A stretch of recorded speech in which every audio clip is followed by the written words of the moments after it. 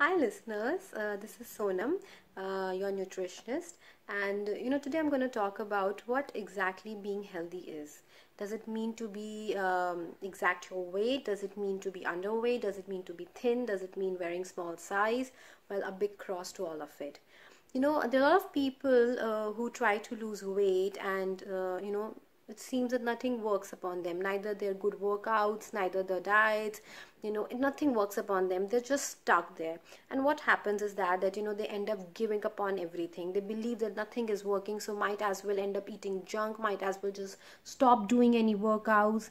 You know i would really advise and i would really suggest that there are some some types of bodies and there are some hormonal imbalances in the bodies that there comes a phase in life which phase could be of a 4 to 5 years could be a few months that you know the body refuses to lose weight. And what you're supposed to do is that not concentrate on that figure of that weighing on that weighing scale. What you're supposed to do that is remember that whatever you're eating should be healthy should be of good quality should be organic. And at the same time you must be able to use your bodies that means your physical activity should be there. You know would, would you really want that you know you end up uh, becoming a perfect size or you know you end up wearing a small size but at the end of the day you know your your energy levels are so low that you really can't get up even to you know fetch a glass of water to yourself Whereas, even if you are 10 kilos, 15 kilos overweight, but you know you're physically active, you know that you're able to walk for 40 minutes, you know, you know that you're able to do all the daily chores, uh, and you feel fresh. So, what is more important is that understand the signals what your body is giving to understand and measure the energy levels rather than you know standing on weighing scale again and again again and again and torturing yourself and eating that food keeping in mind that you know you're going to next day end up gaining few grams. You know that that is that is really brutal to your to your own body. I would really request to everyone each and everyone seeing this video that you know you are the only one who can measure your own body in terms of fitness level. Stop comparing your bodies with any other body. Each and every body frame each and every hormonal balance is different from yours. You know don't get too excited and don't don't push yourself too much because you know you want to look like somebody else or you know you want to fit into a particular size dress. It's okay to wear a medium size. It's okay to wear a large size. End of the day what matters is that you should be happy. You should get up happy. You should sleep healthy. You know you should you should be able to you know eat good food and you should know what you're eating is giving you energy rather than making you drowsy. You know just keep a check on the alcohol level. Just just check out the cigarettes from your life. And uh, i would actually say chuck out the alcohol also but that's okay if you want to drink it but just keep a check on it. You know eat fresh food. Uh, don't heat it too much. So you know keep these things in mind. And end of the day just be happy. And um, just a re-reminder again if your weight is stuck don't get worried. Just keep eating good healthy food. Consult your dietitians or nutritionists how they can help you in giving you a good routine where you can eat the healthy food and maintain all your nutrient levels. So as of now just be happy we would um, term health as uh, what is your height and what is your weight. So let's say you know if you are five three or if you're five four uh, then you're a female or a male and then we have those frames which would say that you know this should be your ideal weight. Now um, what about the age? What about your other factors? What about your medical background? Where does all that fall? So you know there is a big myth uh, that you know a particular weight frame which is set by certain charts defines your health. So i'm going to give you a very classic example uh, let's say for all the indian females.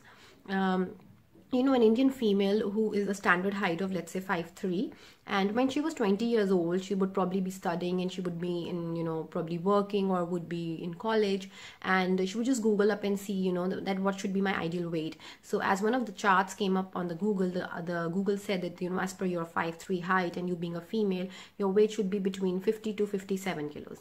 Now she's uh, she checked her weight on the weighing scale and it said 58 so you know she was pretty okay. She said you know it's okay. I am fine but um, you know as the time went by you know she had a child she became a mother she was working full time she was taking care of her house husband and you know everything you know. And uh, she she was at the age of 35 and you know then she again googled up and uh, the same thing came in front that you know as per the age of 5 3 high as per the height of 5 3 your weight should be between 50 to 57 and uh, she stood on the weighing scale and the weighing scale said that you know you are 63 so what happened? You know she went into the major uh, trauma and the whole depression that you know i am overweight and i'm not healthy. So does it really make sense? Uh, you know if you go in the depth uh, it really doesn't. You know it's okay to be 62 63 or probably 5 kilos plus whatever is the standard chart that is saying. Uh, because what really matters is that you know when you get up in the morning uh, do you feel energetic? Do you feel pepped up you know how are your anxiety levels? How are your bp you know if you have a fluctuative bp and even if you are in the perfect frame of weight it doesn't really help you anyways. So probably you know gaining 2 kilos more and uh, feeling the strength to deal with things and feeling the strength to be physically active makes sense. So you know probably i'll give you my example. So let's say you know as per my ideal weight uh, you know height you know i should be 2 kilos or 3 kilos less on the weighing scale but you know the moment i try to touch that particular weight what happens? I feel weak. I don't feel the strength to deal with things. I feel sleepy during the you know afternoon time. And that's the sign of my body that you know i need to put on probably two more kilos so that you know i am able to deal better because you know my physical body needs that kind of strength. So you know weight is very interesting. So what what is the what is the whole idea to talk to you today is that you know listen to your body symptoms. You know if you are physically strong you'll be mentally strong to deal with life. So you know you should you should feel the physical strength you know which can actually help you to take challenges in life. So whatever food you are eating uh, should not be eaten with the fear or with the fear of gaining weight but should be eaten with the joy of giving you strength right? So you know the i'll be really quick on this and i'll be closing it that you know don't get into the whole vicious circle of checking your height and weight frames. Uh, it is important to lose weight and be near the standards of the you know kilos that are mentioned in those scale but at the same time you need to listen whether your body is comfortable in those standards whether you're feeling weak or you know you you you have that strength to get up in the morning. There's no point uh, you know uh, touching the perfect bmi and you know get up in the, getting up in the morning with no strength